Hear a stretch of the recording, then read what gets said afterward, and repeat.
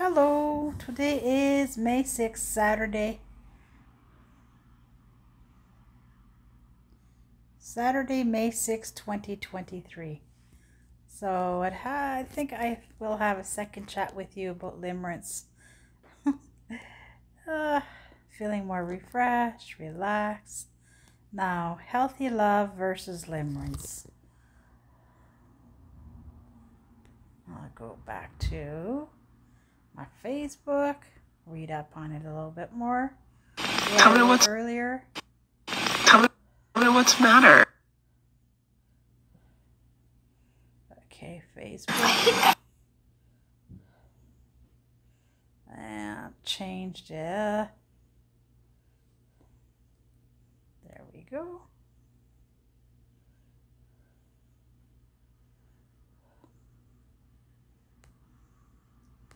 So what I wrote about limerence today is this is how it goes. May 6, 2023. The fears, the resentment, the limerence. The limerence is about unhealthy, immature love, infatuation, obsession, crush, the idea of being in love.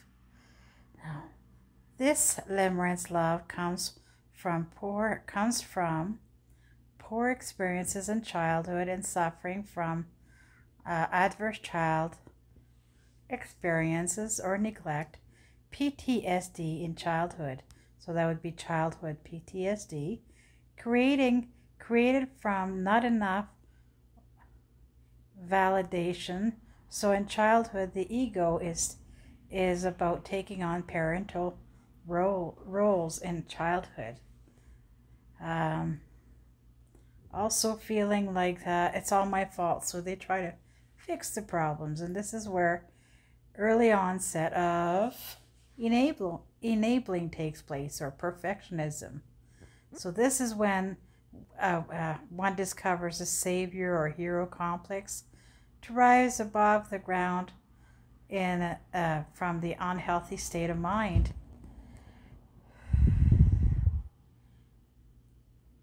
However, uh, people who have suffered from enabling uh, circumstances or behaviors through fears and resentment, and it comes from attachment wound. From uh, a wound may come from attachment wounds from later uh, earlier on in life or uh, past abusive relationships, whether as childhood or uh, adulthood, young adulthood.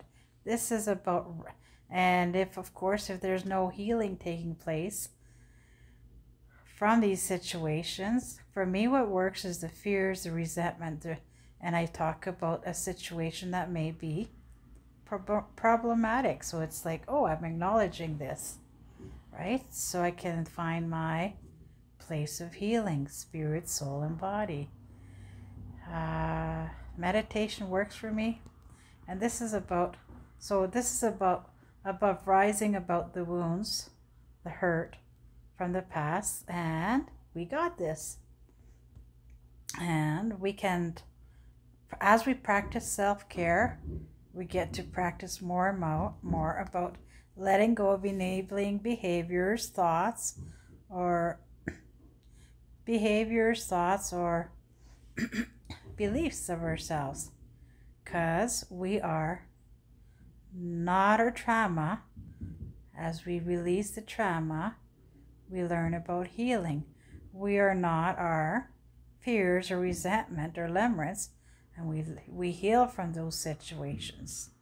As we become stronger within ourselves, really, we let go of that hurt or abuse and we start healing it not by playing around with it, but allowing it to release. And that's how we heal. Yes. Meditation works for me.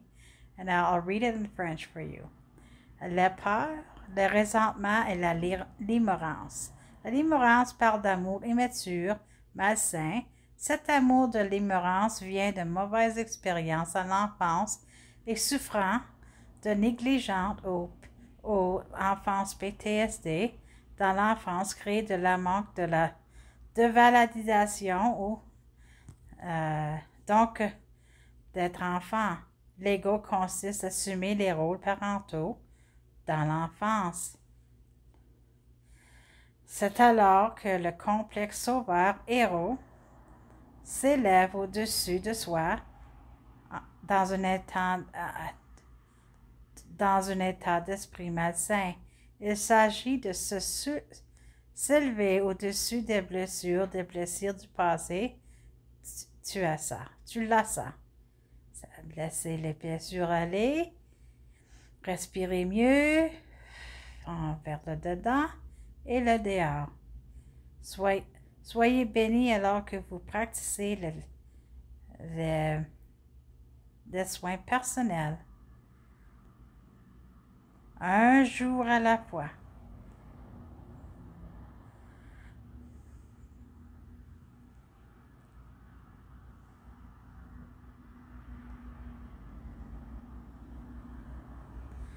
So, healthy love versus limerence. Healthy love is about growing in a place of security, safety, understanding, and having a balanced life where we have two healthy parents who love us, who take care of us, who are there for us, you know. And it's the same thing with healthy love. We discover that with the platonic relationships with our parents, with our healthy platonic relationship with family members, with healthy platonic relationship with her brothers and sisters, as well as her children.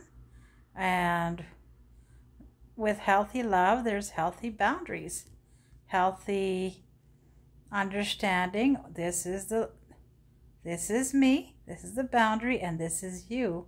Having self awareness of ourselves and also having self awareness of others. Having self awareness of our self love, having other awareness of other people's boundaries. And the reason why I'm mentioning that today is because sometimes we feel so overwhelmed when we when we haven't healed from certain situation. The overwhelming feelings there and then the fear is there and then the resentment is there.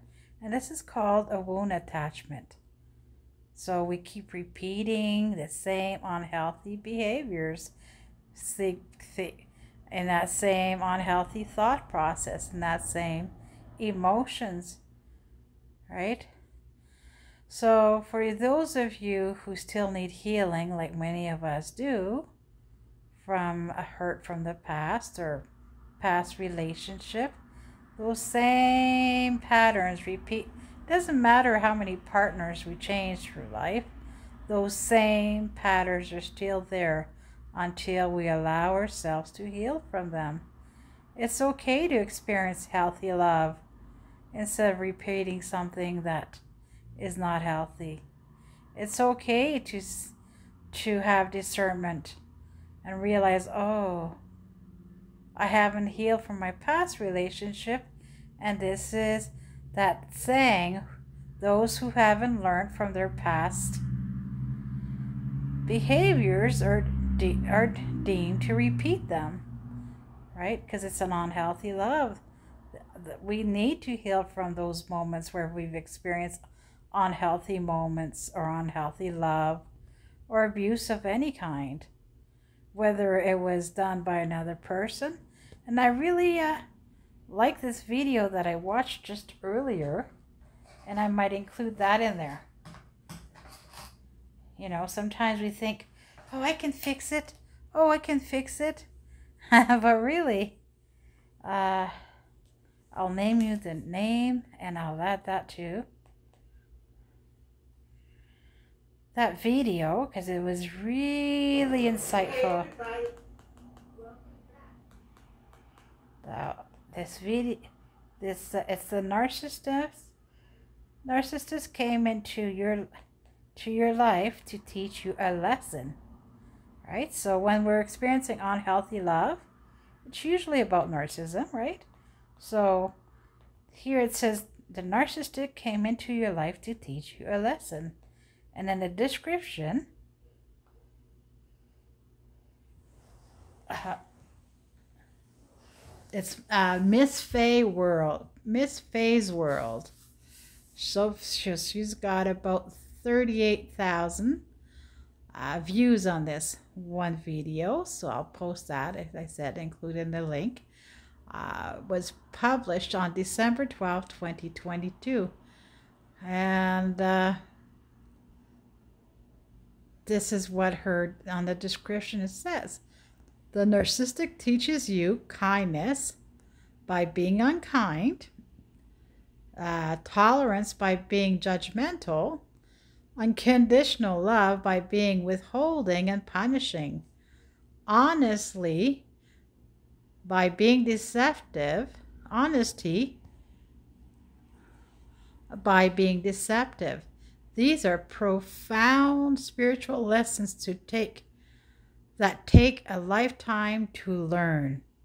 So you, it, we the re, the purpose why we're here, right?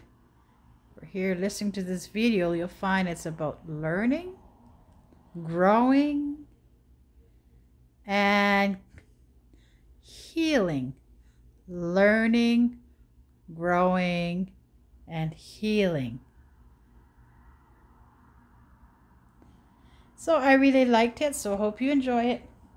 Have a great evening. And I'll just put part number two here.